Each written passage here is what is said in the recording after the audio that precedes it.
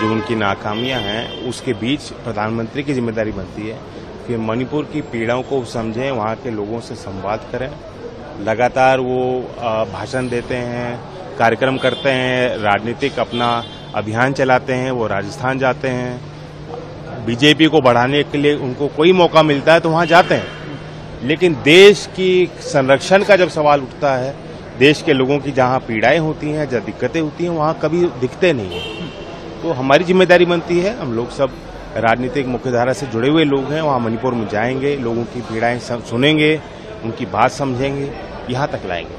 लेकिन सर जिस तरीके से बंगाल में बीजेपी ने अपना एक डेलीगेशन भेजा बैक फाइंडिंग टीम बनाई आप लोग लगातार इससे पहले राहुल गांधी भी पहुँचे थे लेकिन उन्हें भी विज़िट नहीं करने। आपको लगता है कि आज आप लोग क्योंकि इतने तमाम दल के नेता जा रहे हैं तो आपको एक मौका दिया जाएगा वहाँ लोगों से संवाद करने का?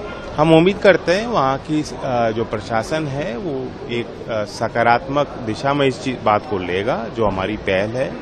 वहाँ मलहम लगाने के लिए हम लोग जा रहे हैं लोगों को गले लगाने के लिए वहाँ हम जा रहे हैं। और उनकी समस्या बढ़ाने के लिए नहीं जा रहे हैं। इस बात को समझे जहाँ तक तुलना की जाती है, बीजेपी ने पूरी कोशिश की कि डाइवर्ट किया जाए मामला। अभी तक संसद में चर्चा करने को तैयार नहीं है। और राजस्थान, बंगाल, जहाँ जहाँ मतलब उनकी सरकार नहीं है, उन राज्यों का ज़िक्र करके वो चाहती है कि देश का ध्यान मणिपुर से हट जाए। जबकि मणिपुर की घटनाएँ उन सबसे अलग हैं। संवैधानिक संकट वहाँ खड़ा हो गया।